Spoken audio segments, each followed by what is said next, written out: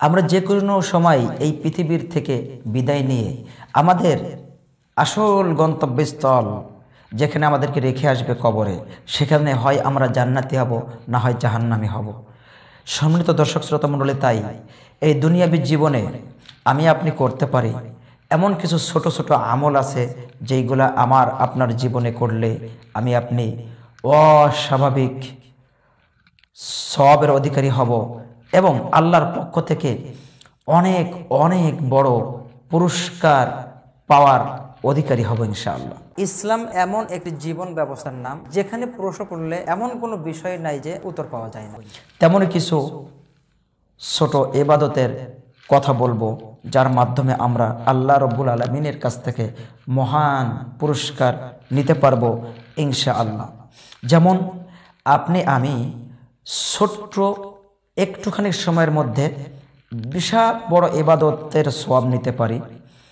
যেমন রাসুল আলিয়াল্লাম বলেন, মান করা সরাতুল এখলাস সালাসা যেই ব্যক্তি সুরা এখলাস তিনবার পাঠ করল, সে পুরা এক খতম কোরআন তেলাওয়াতের সবের অধিকারী হয়ে গেল। সুবহান আল্লাহ চিন্তা করুন, সুরা এখলাস পলহু আল্লাহ আহাদ আল্লাহ সমাদ লামিয়ালিদ ওলামিউলাদ ওলামিয়াকুল্লাহ কুফন আহাদ।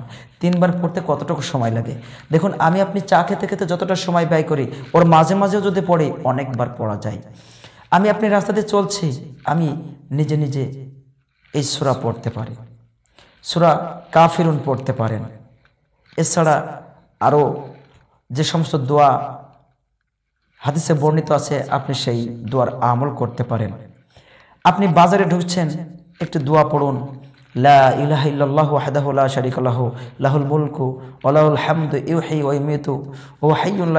বিয়াদিকাল আলা এই দোয়াটি পড়ে আপনি বাজারে ঢুকুন।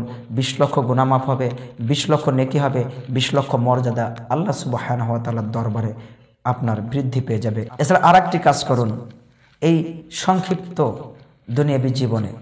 আল্লাহ রাসূল সাল্লাল্লাহু আলাইহি ওয়াসাল্লাম বলেছেন মান সল্লাল গদাতা যেই ব্যক্তি ফজরের সলাদ জামাআতের সাথে আদায় করল, সুম্মা ইয়াজকুরুল্লাহ তাআলা হাত্তা তাতলু আশ-শামস।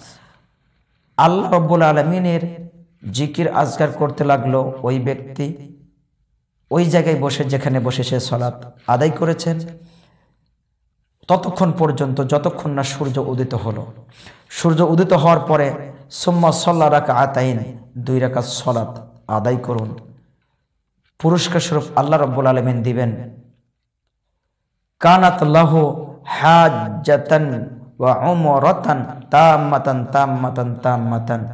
আল্লাহ রব্বুল আলমিন ছোট্ট একটুখানি আমলের বিনিময়ে কবল একটি হজ এবং ওমরার সওয়াব দান করবেন। আমার, আপনার। তাহলে ফজরের জামাত অবশ্যই আমরা জামাতের সাথে আদায় করব এবং এই ছোট্ট আমলটি করার চেষ্টা করব ইনশা আল্লাহ এছাড়া সুবাহান আল্লাহ বিহামদেহি সকালে একশো বার, সন্ধ্যায় একশো বার পাঠ করুন। আপনার থেকে যদি কেউ বেশি না পড়ে, আপনার থেকে বেশি নেকি নিয়ে আল্লাহ সুবাহানা হুয়া তালার দরবারে যাওয়ার মতন আর কোনো মানুষ পাওয়া যাবে না। যাবে না হাদিসে এ কথাই বলা হচ্ছে। আপনি পড়ুন সুবাহান আল্লাহ বিহামদিহি ও সুবাহান আল্লাহ আজিম সমস্ত কিছু এক পাল্লায় দিলেও আপনার এই পঠিত সোয়াবের পাল্লা বেশি ভারী হয়ে যাবে ইনশাআল্লাহ। আল্লাহ আমাদেরকে ছোট ছোট সুন্নাতে আমলগুলা বেশি বেশি করার তৌফিক দান করুন, আমিন। তোমরা যা জানো না, তা তোমরা জেনে নাও। আল্লাহ ওয়া এই মর্মে বলেছেন আলু আহলা যিকরি ইন কুনতুম লা